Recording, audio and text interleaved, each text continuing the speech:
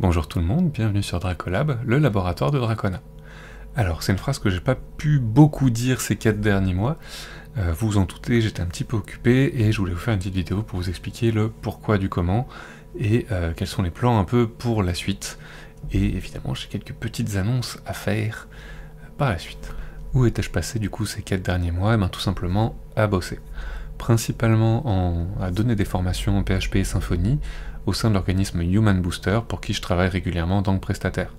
Voilà, donc je, évidemment je vous recommande leur travail, tout ça, tout ça, tout ça. J'y reviendrai un petit peu après. Et qu'est-ce que je compte faire pour la suite? Eh Tout simplement reprendre un peu là où j'avais laissé mon activité, en me concentrant principalement sur le cours Symfony. Le projet recette, je me pose pas mal de questions dessus, mais déjà dans un premier temps, je vais me poser sur le cours Symfony, essayer de le boucler autant que possible. Je suis assez peu satisfait des deux formats. Il euh, y a pas mal de petites choses que je voudrais régler, notamment le cours symphonie, je trouve que je vais pas assez loin. Du coup, je vais y revenir juste après, mais je pense un petit peu changer la formule, euh, finir ce qui est existant et aller plus loin par la suite.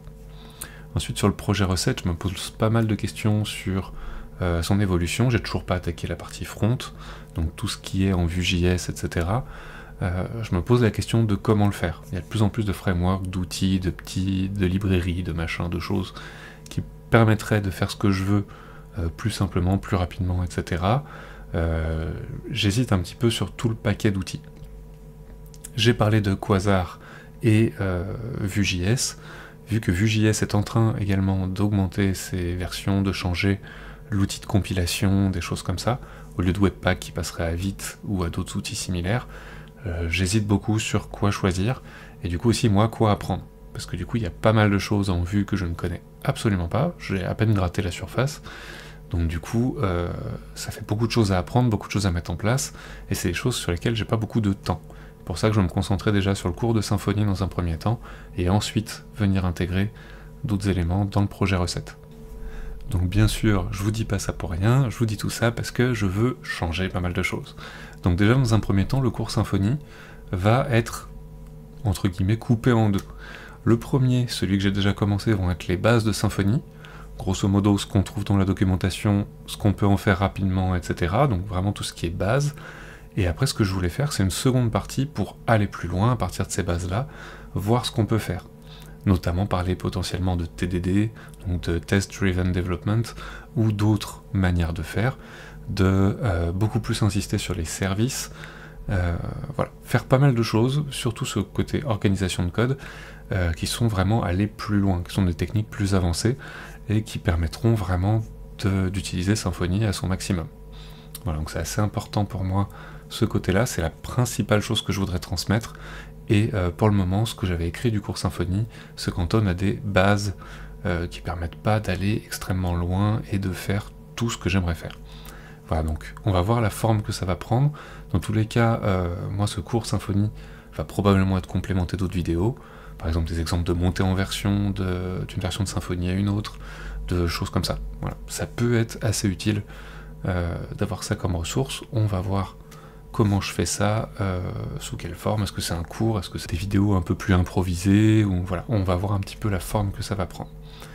Ensuite, l'autre annonce, c'est que euh, depuis pas mal de temps, notamment depuis que je travaille avec Human Booster, je me suis créé un ensemble d'outils pour présenter mes cours, y compris des cours avec les vidéos et du format test, vous pouvez voir que les vidéos correspondent pas à celles que j'ai fait sur la chaîne, tout simplement parce qu'au départ j'avais tout enregistré sur Loom. J'en suis assez peu satisfait, elles sont assez peu détaillées, mais voilà, je veux euh, en fait avoir un site où je regroupe à la fois l'affichage des vidéos, le texte d'explication qui va avec, et potentiellement des exercices, des QCM, des petits, euh, des évaluations, en tout cas des auto-évaluations, ce genre de choses. Euh, il y a pas mal de choses à faire, et j'aimerais proposer ça euh, de manière un peu plus unifiée à un endroit qui permettrait à quelqu'un de faire tout le parcours sans donc apprendre Symfony depuis zéro par exemple, et vous voyez que j'ai d'autres modules sous le coude. L'idée serait quand même de vous permettre d'apprendre directement sur une plateforme qui vous permet également d'évaluer, etc. Donc il y a pas mal de questions là autour, c'est à peine à l'état de projet pour le moment, mais du coup c'est quelque chose que j'ai envie euh, de monter, et du coup j'aurais bien besoin de votre avis euh, dans les commentaires de cette vidéo pour voir un peu la direction à prendre. Personnellement, ce que je compte faire, c'est que quoi qu'il arrive, les vidéos, au moins du cours de symphonie, restent gratuites sur YouTube, et selon où je veux aller, avoir certains cours qui deviendraient complètement payants, d'autres les vidéos gratuites, le texte et les exos payants, ce genre de choses. Voilà. Beaucoup d'hésitation de ce côté.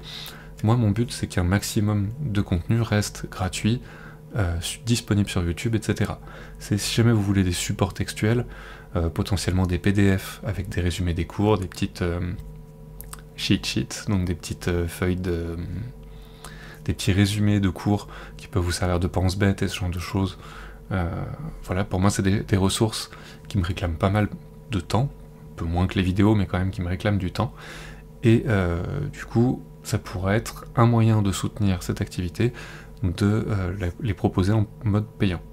Ce mode payant reste euh, de diverses manières. Il y a des idées de financement participatif, il y a des idées de euh, directement faire payer l'accès aux cours, ce genre de choses.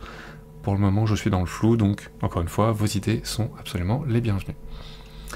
Voilà, donc vous voyez que j'ai quand même pas mal de sujets de cours que je fais avec l'organisme Human Booster. Et euh, j'ai également des sujets de QCM, des, euh, des projets, des exercices, il y a plein de choses là-dedans, et j'aimerais quelque chose d'un peu plus propre. Là, c'est un site qui est fait avec VuePress.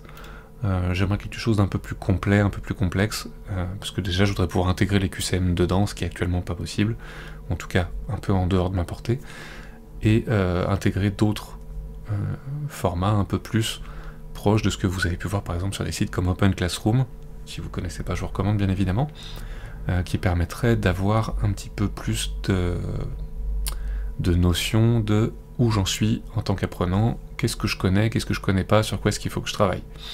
Des, idées d'exercice pour s'entraîner, etc. Enfin un peu plus de, un peu plus de matière pour les cours.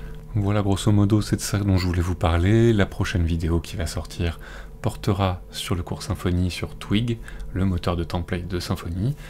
Euh, voilà, donc du coup celle-là devrait sortir, euh, je l'espère, plus rapidement que les précédentes. Et euh, voilà, ensuite j'enchaînerai, je pense, dans la lignée sur le cours sur Doctrine et rester sur du cours pendant encore quelques temps. Et ensuite, je reprendrai probablement les projets. Voilà, bien évidemment, je vous tiens au courant au fur et à mesure. On va voir comment ça se passe, mais déjà, je voudrais bien arriver à boucler un petit peu ce cours. Voilà, donc en attendant, je vous dis à très bientôt et puis codez bien. Salut